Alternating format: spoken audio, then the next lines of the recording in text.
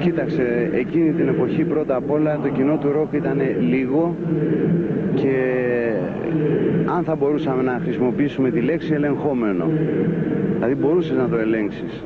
Γιατί πήγαινε σε ένα μαγαζί και λέγεις «Α, τι κάνεις ρε Γιάννη, α, τι κάνεις ρε Νίκο».